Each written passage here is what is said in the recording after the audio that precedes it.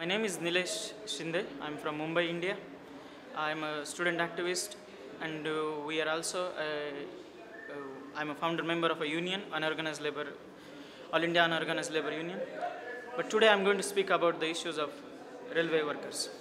On July 11th, the uh, All India Federation of Railway Workers and uh, the National Railway Mazdoor Union have decided to go on strike.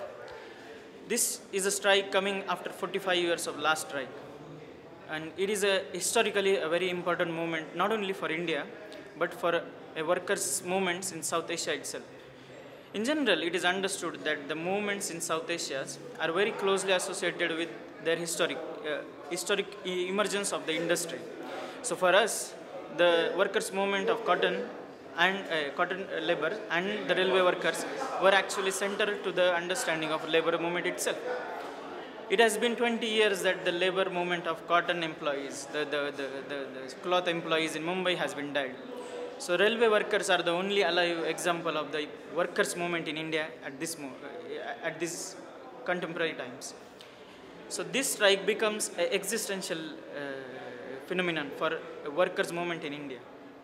Now the, the Indian railway, as, a, uh, as many will understand, is a, not only a transportation medium, as I say that, that, the trade is a social interaction, then railway is a social relation.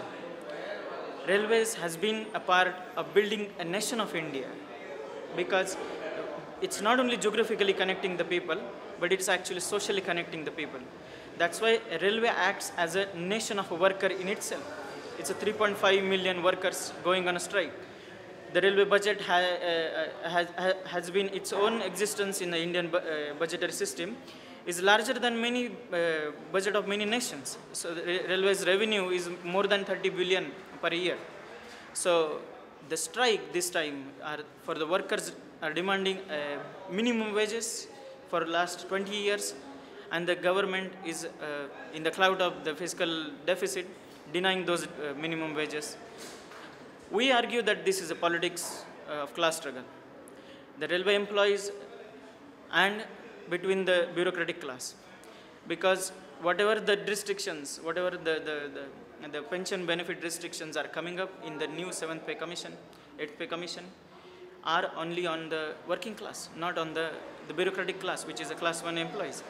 So we argue that this is a class struggle, the nature of class struggle in the name of minimum wage argument and the pension benefit argument. So the strike in of railway workers in India becomes a very important juncture of going back to the history of working day in Europe.